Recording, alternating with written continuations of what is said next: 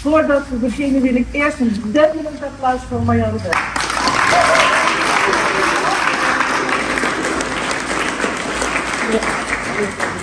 Wij houden helemaal niet van lange toespraken. Jullie hebben een lekkere schoolweek gehad en straks ga je lekker naar huis. Uh, ik wil vragen of Phyllis Kok namens de KNRM naar voren wil komen om iets te vertellen. Oh. We hebben niet zo lange speeches. Dan ga ik nog iets vertellen. Ook nog eens gewoon een stem. Heb jullie er niet van gehad? Ja. Jullie zijn allemaal hartelijk welkom hier in het boothuis van de KNRM. We zijn de reddingmaatschappij in Zandvoort, zoals jullie allemaal wel weten, want jullie hebben allemaal op school goed opgelet. Het resultaat daarvan hebben jullie uh, op uh, hele mooie plankjes getekend. Uh, daar zijn we super trots op dat we die mogen ontvangen. En de komende jaren gaan we daar een hele leuke plek voor, voor zoeken om het komende jaar te laten zien aan iedereen. Nu wil het zo zijn dat ons boothuis gaat worden uitgebreid. Dus er komt een verbouwing. Die begint over drie weken. Dus we zijn er niet helemaal uit waar we de hekjes gaan plaatsen. Dus vandaar dat ze nu nog even los langs de kant staan. Maar het gaat helemaal goed komen wij denken zelfs als de, de, als de aannemer komt, dat de hekwerken worden geplaatst, dat we daar mooi de hekjes kunnen monteren. En dan kunnen jullie de hele zomer daarvan genieten en iedereen meenemen om te komen kijken. Daarnaast wil ik nog meegeven, we hadden uh, voor alle kinderen een sleutelhanger besteld. Die zijn nog ergens op een schip onderweg naar Nederland. Het is net Sinterklaas, maar het cadeautje komt eraan. Uh, en we willen jullie allemaal uitnodigen om vanaf half april een keer op een zaterdagochtend langs te komen. Met je papa, mama, opa en oma. En dan kan je sleutelhanger bij ons ophalen. En dan kan je gelijk even eh, de rest van het gebouw bekijken en, en de boot en alle andere vragen die je misschien hebt te stellen. En dan ga ik het nu wel laten. Dus wat mij betreft geef ik het woord aan de wethouder, Lars Carré. En dan oh, hoor ik Hilly net zeggen, korte speeches en dan wordt er een wethouder, een politicus uitgenodigd. Die zijn altijd lang van stof.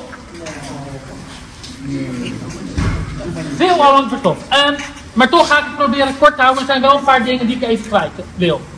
Um, de kinderkunstlijn, is een jaarlijks terugkerend item in, in Zandvoort, waar ieder jaar een thema aangegeven wordt.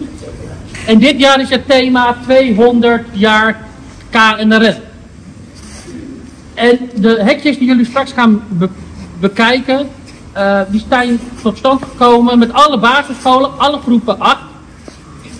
En ik heb net even gevraagd, zijn er ongeveer 135 leerlingen die dit allemaal gemaakt hebben. Um, en je hoort juf Marianne al zeggen, ja dat klopt. Um, maar kom maar gelijk even naast me staan. Want, ja, Marianne heeft gezorgd voor de theorie. Een stukje uitleg over kunst en de stromingen die er zijn. Ja. En door middel van vrijwilligers de vrijwilligers heet team heet volgens mij kunst op school. Is gezorgd dat dit echt in de praktijk tot stand gekomen ja. Uh, is. Ja, zeker. Helemaal goed. Goed, kan je heel kort, want dan mocht het kort, korte speech worden. Ja, ja, ja. ja, Iets vertellen hoe die theorie op school werkt? Uh, heel in het kort. Theorie bestaat uit uh, kleurenbasis. Wat zijn je materialen? Wat zijn je grondstoffen? Hoe krijg je de kleuren goed? de primaire kleuren goed in je hoofd hebben, zodat je later altijd een uh, heel klein opstapje hebt. Oh ja, dat was dat en dat was dat. De rode vermiljoen, dat was altijd heel erg in, want de basisstof is de schutluis of de schildluis. Als je die roze koeken eet, of je hebt het roze ijsje of de roze yoghurt, zit er altijd een E 120 nummer in en dat is dat luisje wat speciaal die prachtige kleur geeft. Dat is maar één facet van de theorie, maar het tweede gedeelte van de theorie is het onderwerp. En dat was dit jaar Koninklijke Nederlandse Reddingsmaatschappij. En deze kinderen, die hebben echt met de tong uit hun mond die hekjes geschilderd. Ik ben bijzonder trots en ik geef het woord weer terug aan jou. Dankjewel.